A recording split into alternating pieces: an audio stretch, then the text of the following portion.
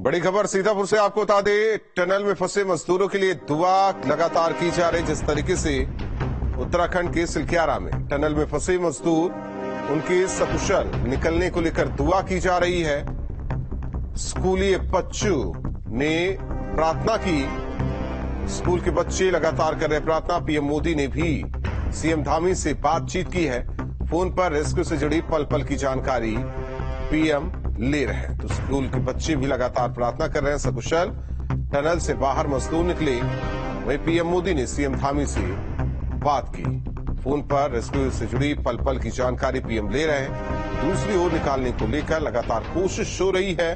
हालाँकि अंदर का वीडियो भी सामने आया। एक्सक्लूसिव वीडियो आपको दिखा रहे हैं। जिस तरीके से बड़ी बड़ी मशीन, भूवैज्ञानिक लगातार लगे हुए हैं कि जल्द से जल्द निकासी हो आपको बता दें कि कई दिन बीत चुके हैं और तस्वीरें आपको दिखा रहे हैं, ये अंदर की तस्वीरें। वीडियो सामने आया है, संपर्क लगातार किया ही जा रहा है। कई दिन से फंसे मजदूर, जिनको निकालने को लेकर एक तरफ़ देश में प्रार्थना का दौर जारी है तो दूसरी ओर तस्वीर उनकी आने से लोग, लोगों ने राहत की सांस ली। हालाँकि जल्द से जल्द टनल से इन्हें बाहर निकालने की कोशिश हो रही उत्तराखंड के उत्तराखंड के मुख्यमंत्री श्री हाथ खड़ा करें अच्छे से मुस्कुराए। हम तुम्हारे पास जल्दी पहुँचेंगे घबराए नहीं।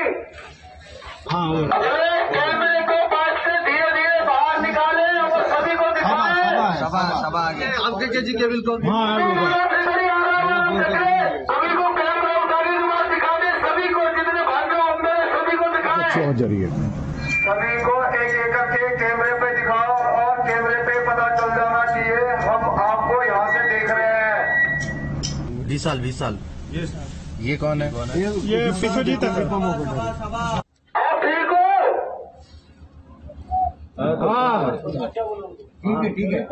कैमरा कैमरा ऊपर। लोग ठीक है तो कैमरे अपने आप को दिखाएँ हाथ खड़ा करें अच्छे से मुस्कुराएँ हम तुम्हारे पास जल्दी पहुँचेंगे घबराए नहीं। अगले कैमरे को पास से धीरे धीरे बाहर निकाले और सभी को दिखाएँ। सभा सभा आगे। आपके जी केबिल को हो मेरे सभी को दिखाएँ सभी को एक एक करके कैमरे पे दिखाओ और कैमरे पे पता चल जाना चाहिए हम आपको यहाँ से देख रहे हैं बीस साल बीस साल। हालाँकि लगातार जिस